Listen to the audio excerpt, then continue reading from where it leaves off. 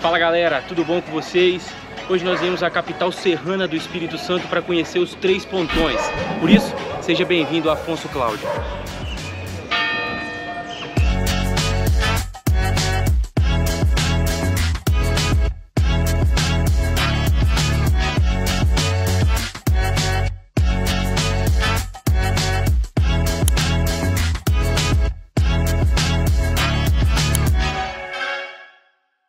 E Afonso Cláudio, meus amigos, é um verdadeiro paraíso para você que, assim como eu, é amante da natureza e das suas belezas. Por isso que no vídeo de hoje eu vou te mostrar como que é a trilha no cartão postal da cidade. Então se você está chegando agora aqui e ainda não é inscrito no canal, já vai se inscrevendo, deixando seu like no vídeo e ativando as notificações.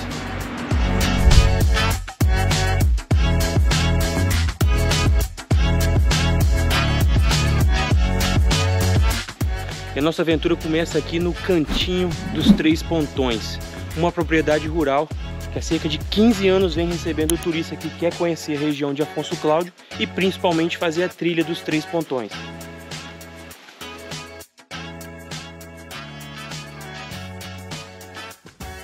Aqui no cantinho você vai encontrar a melhor opção de hospedagem na região, nesses chalés extremamente aconchegantes para curtir o clima de montanha. Afinal, nós estamos numa altitude de 800 metros.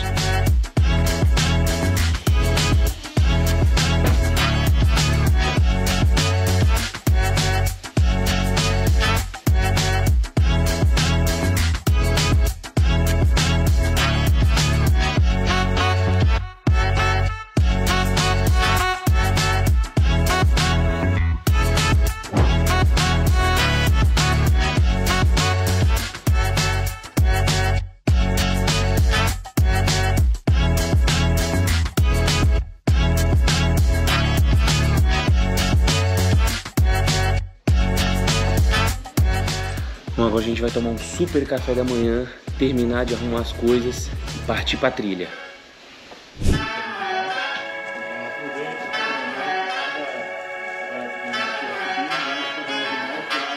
A nossa trilha hoje tem um percurso total de 6 quilômetros, um caminho repleto de atrativos e belezas naturais. A gente sai de uma altitude de 800 metros e vamos chegar a 1110 metros.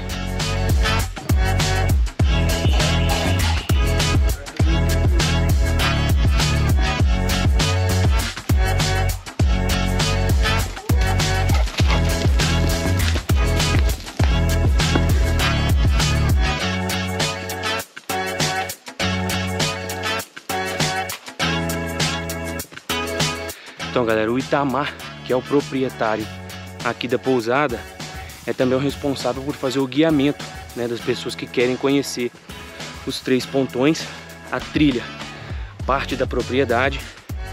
E ele contou pra gente que hoje tem um grupo de escaladores de fora do estado que está fazendo a escalada da via Inferno na Torre, num dos pontões.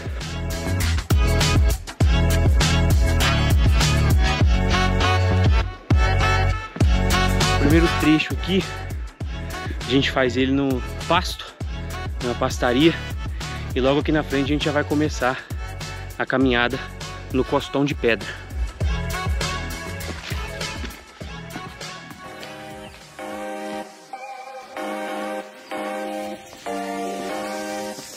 E aqui a gente chega já no primeiro trecho. A gente precisa do apoio de uma corda para fazer a subida.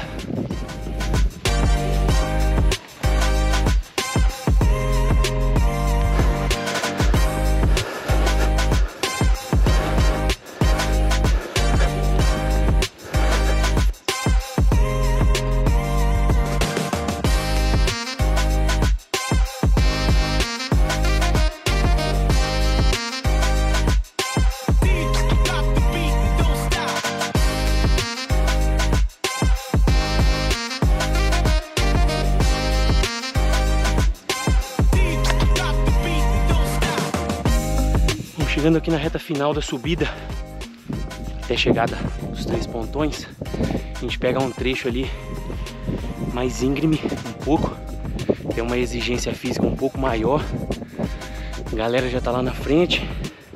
A gente hoje está acompanhando um grupo de, de pessoas vindas de Linhares. E o pessoal veio para conhecer também. Então a gente está fazendo subida junto deles aí.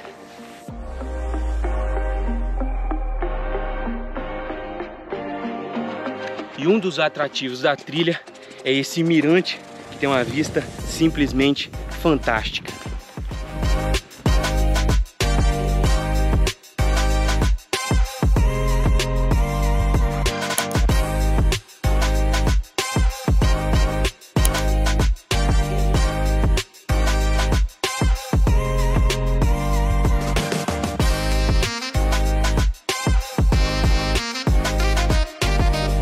Saindo ali do mirante, andando mais alguns metros só a gente já chega lá nos três pontões, mas antes nós vamos ver mais um dos atrativos que tem aqui que chama muita atenção da galera. Bora pegar o balanço? Tá esticado.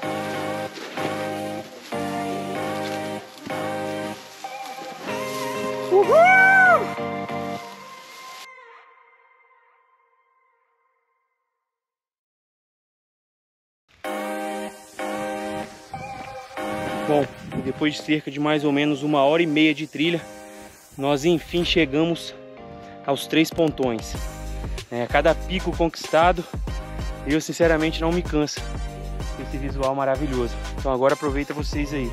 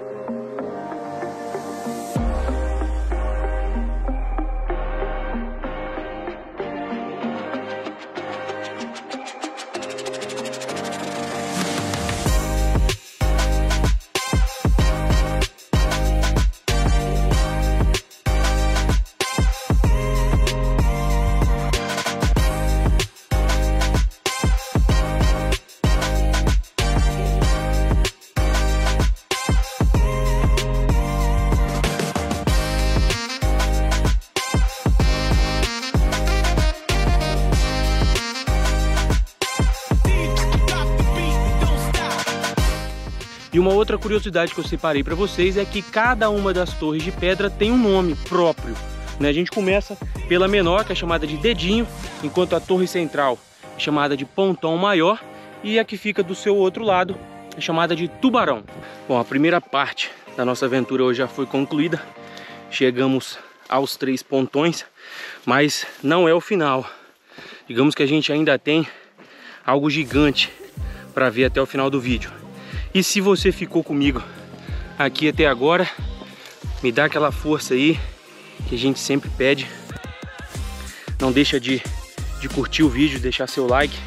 Se ainda não for inscrito no canal, já aproveita, se inscreve no canal, ativa as notificações para você receber aí sempre que a gente publicar algum vídeo novo, você receber a notificação. E vamos que vamos, porque nosso próximo destino é a maior aventura do Capixaba Sem Limites até agora. E você não pode ficar de fora. Valeu?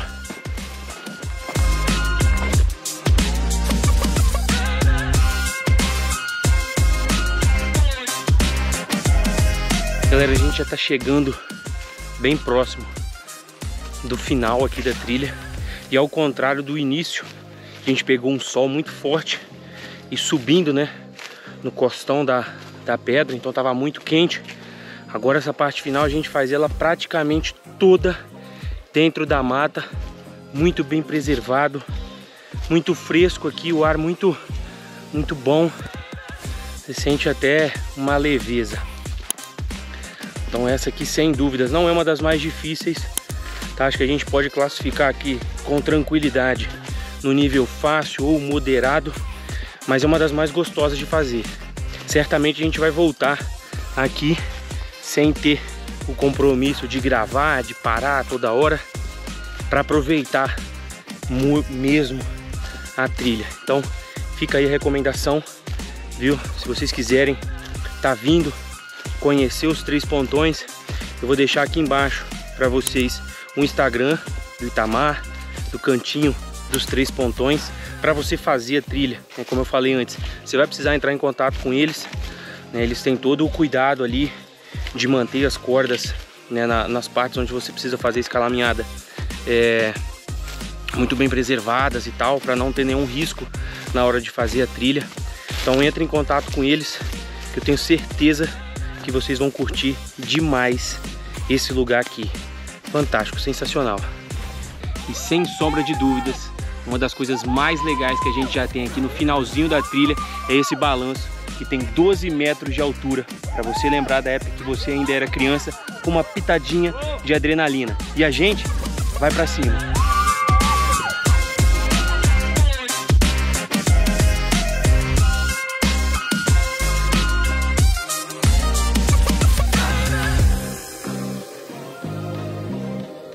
Vamos nós agora. Itamar, com muita adrenalina. Vamos lá. Foi!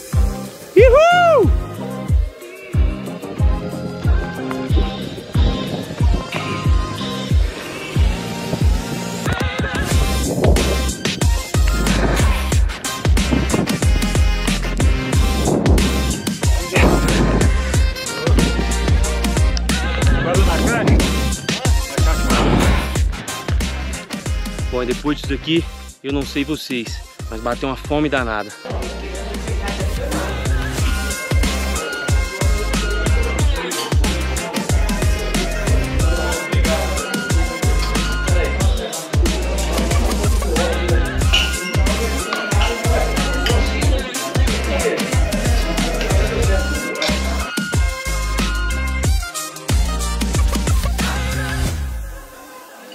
E depois dessa trilha incrível, nada melhor do que esse almoço servido aqui no cantinho dos três pontões.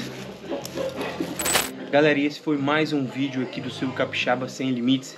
E cá entre nós, como é bom vir em um lugar onde as pessoas entendem o potencial do turismo, fazem questão que você esteja aqui te tratam super bem.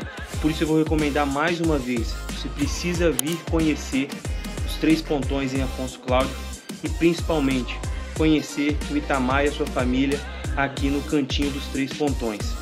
Se você estiver chegando aqui no canal, obviamente não deixa de se inscrever e ativar as notificações e me dá aquela força com seu like, seu comentário que me ajudam muito. Nós nos vemos muito, muito em breve. Até a próxima. Fui!